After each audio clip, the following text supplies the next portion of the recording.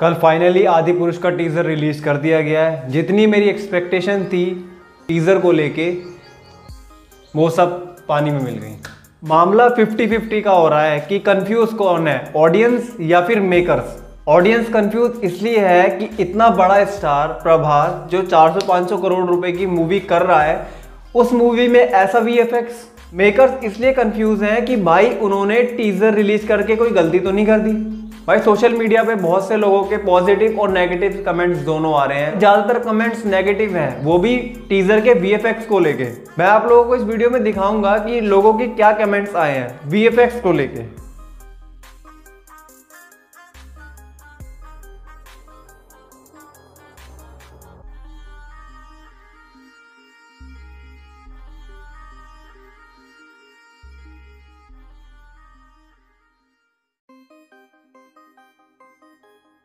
कुछ लोग ये कह रहे हैं कि भाई वी इतना खराब है तो कार्टून मूवी बना देते और बात भी सही है भाई। अच्छा भाई, आपने पुरानी वाली रामायण तो देखी होगी, रामन सागर वाली। अब आप एक बात बताओ, प्रभु श्री राम के सिक्स पैक एप्स दिखाने ज़रूरी है मूवी में?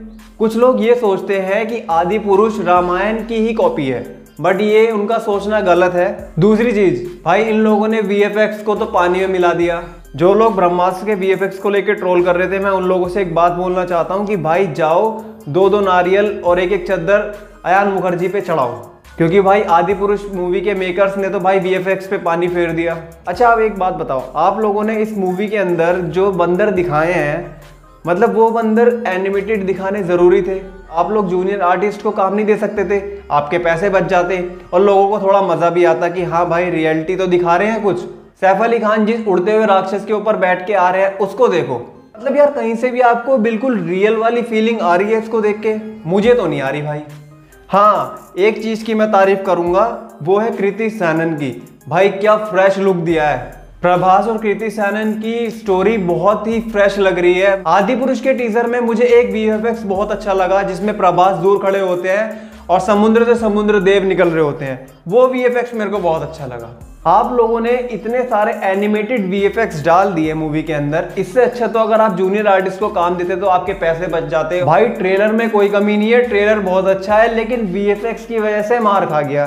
और ये मैं नहीं कह रहा हूँ, ये सब लोग कह रहे हैं। हालाँकि टीजर बहुत अच्छा लगा है देखने में बट वीएफएक्स जो होने चाहिए थे, जो वीएफएक्स ऑडियंस एक्सपेक्ट कर रही थी, वो वीएफएक्स उसमें नहीं आए। चलो यार, जितना बताना था मैंने आपको बता दिया। वीडियो अच्छी लगी तो वीडियो को लाइक करो चैनल को सब्सक्राइब करके नोटिफिकेशन बेल को ज़रूर से ऑन कर लो और अपने भाई को इंस्टाग्राम पर फॉलो कर लेना। इंस्टाग्राम का लिंक वीडियो के डिस्क्रिप्शन में है तो मैं मिलता हूँ आपको नेक्स्ट वीडियो में।